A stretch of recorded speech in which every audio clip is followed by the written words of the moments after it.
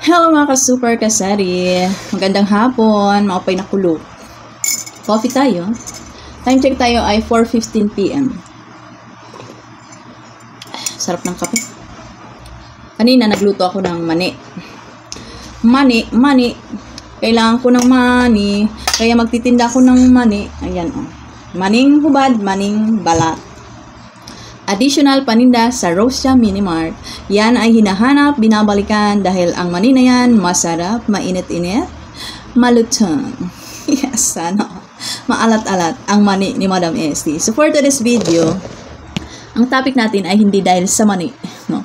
So marami na naman ako nababasa sa aking comment section. No? Habang nagiintay ako na lumamig yung mani kasi riripakin ko.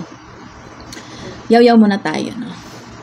Ngayon, kasi ang dami nagko-comment sa akin, nagpo-PM, Madam, magkano po ba ang starting puhunan sa pagsari-sari store? Meron naman, Madam, yung 200k po ba isapat na para sa isang mini grocery?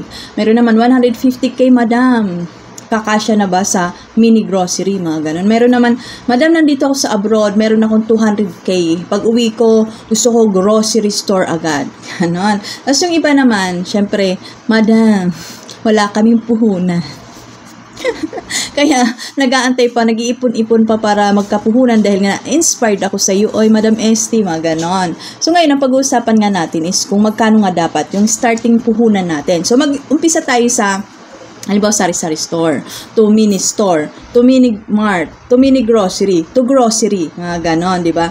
Noon, sinabi ko na pwede ka na mag-start ng sari-sari store sa halagang 5,000 pesos.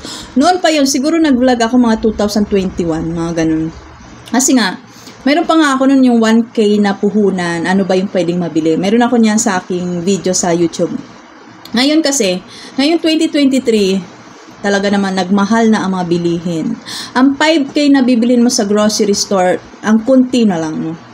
So, parang siguro makakapag-umpisa ka naman ng tinda-tindahan, kaso, siguro, sa bintana mo lang, no? Kasi 5,000 lang ang puhunan mo.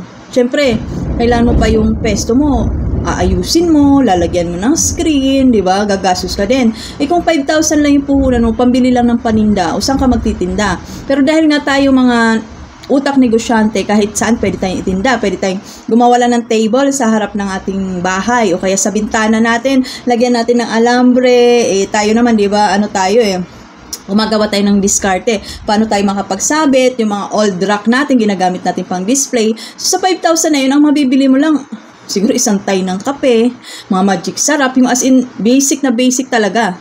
Yung asukal, siguro yung asukal, yung isang kilo, pag riripakin mo pa ng maliliit, mga ganun. Diba? Tapos ano pa ba, yung mga, siguro isang tay ng shampoo, mga ganun kunti pa lang talaga yung mabibili mo sa 5,000. Pero pwede ka na mag-umpisa dyan, di ba? Mahirap nga lang kasi talagang kung ano lang talaga yung araw-araw na ginagamit, sabon, shampoo, kung mga kunting dilata, dalawang dilata, mga Kasi nga, ang mahal na ng bilihin ngayon. So ako, ngayon, ang, ngayon 2023, para sa akin, kung gusto mag, mag-start ng sari-sari store, yung hindi naman kalakihan, yung medyo meron ka ng mga kunting basic items dyan, pero huwag ka mag-expect na meron ka ng sigarilyo, meron ka ng alak, or meron ka ng mga bigas kasi ang mahal talaga lalo bigas ngayon, no? So kung gusto mo lang mag-umpisa diyan lang sa bintana nyo, pwede na 10,000, no? So umpisan mo yung 10,000, makakabili-bili ka na nun na mayroon ka ng mga sinigang mix, mga Norcus, mga toyo soka, toyo soka ba, uh, tapos mga dilata, kunting dilata, mga noodles, ganon. Tapos, i-ano mo na lang, i-display mo na lang ng parang akala mo marami. No? Pero huwag ka mag-expect talaga. Sinasabi ko sa inyo sa mahal ng bilihin ngayon. Isang sako bigas kung dadagdag mo pa yun dun sa 10,000 mo. Eh magkano ang isang sako? 1,3, 1,2, 1 1,000 kung makakabili ka sa Mary Mart. Pero kung nag-umpisa ka pa lang, syempre hindi ka makakabili sa Mary Mart, 'di ba? So kung gusto mo naman mag-umpisa ka ng mini store, yan 'di ba? Yung medyo malaking space ka, parang um, garahe, maliit na garahe, parang isang kotse na kasya. Kasi garahe namin, kasya dalawang kotse. So, may meron kang space na parang uh, isang kotse ang kasya, no? Gusto mo magtindahan, gusto mo mini store, gusto mo mayroon ng mga uh, yung mga basic, yung mga pang ulam, pang mga dilata, mga ano ba, mga basta mga basic noodles, mayroon ka ng mga soft drinks, mayroon ka ng mga sesto, as in mayroon ka ng pertay, lahat ng, ng variant ng mga shampoo, mayroon ka na variant ng mga kape, mayroon ka na ng mga asukal, mantika, itlog, mga ganun. So, parang mini, mini store na talaga na maliit lang pero kompleto na.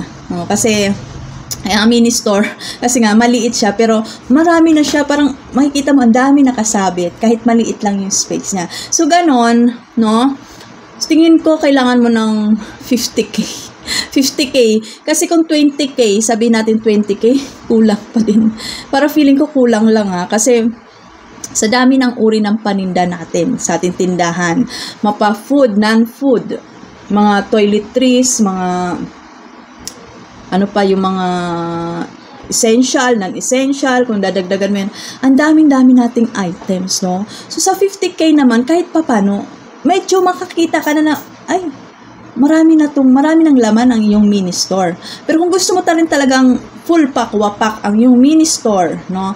Yung tipong meron ka na dyan mga mineral water, meron ka ng may, may mga ahente ka na ng gardenia, okay, may mga pupunta na tayo sa supplier, di ba? parang advisable ko talaga is 100k. Yung 50k naman, eh, okay lang naman sa alright. Na, uh, kasi nandun naman tayo is papaikot-ikutin. Pag meron naman tayong kita ulit, dadagdagan natin yung puhunan, mga ganun. Pero kung mag-umpisa ka talaga, gusto mo talagang as in marami na yung mini store mo. Mga 100,000. Mm-mm. Makakabili ka na ng mga isang box ng noodles, isang box ng mga kape, mga ganon. Uh-uh. At tap, ito pa, no, sana tayo, mini store. Sa mini mart naman, no? Kasi pag sinabi mo mini mart, yung para ka ng convenience store, no? Yung parang talagang open na yung store mo, meron ka na dito counter area, meron ka na dito back area, meron ka ng parang bodega, stock room, tapos meron ka ng mga gondola, gondola, gondola. So, para sa akin, kailangan meron ka ng puhunan doon kung gusto mini mart, no? Kasi pag mini mart, kailangan meron ka dyan ice cream, meron ka mga alak, yung mga alak na talagang pang, ma- pang mayama, pang mamahalin, no? Yung kasi sa kanya, mini-mart, walang fundador, mga gano'n. So, kailangan talaga pag mini-mart, talaga makikita nila, nandyan, mga napkin, lahat ng variant ng napkin, lahat ng mga uh, brand ng napkin nandyan, mga ganon, di ba? Tapos mga diapers, mga ganon. Kasi, pag sa tinda, sa sari-sari store naman, para meron lang tayong tatlong napkin, di ba? Meron lang tayong dalawang diaper kasi hindi naman siya ganong talagang ka basic sa araw-araw eh yung iba naman hindi na nagdadiaper naglalampin di ba?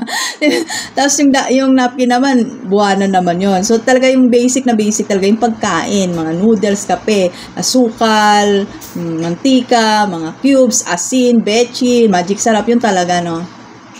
So kung gusto mo mini mart siguro kailangan meron kang nasa 250 to 300 KKK pesos. Bongga na ang iyong mini-mart. Yes, sana all, no? So, kung ito naman gusto mo naman grocery store. Yes, gusto ko. Kasi, nag-vlog ako kahapon kung anong pipiliin mo. Mahal mo o mahal ka? Char. Hindi. Siyempre, yung mahal mo, di ba? Anong pipiliin mo? Sari-sari store muna o grocery store? May mga nag-comment, Madam, gusto ko grocery store agad. Meron naman, Madam, gusto ko sari-sari store muna. Ganon. So, kung gusto mo grocery store agad, so kailangan, mayroon ka dyan mga half million to 1 million. Di ba?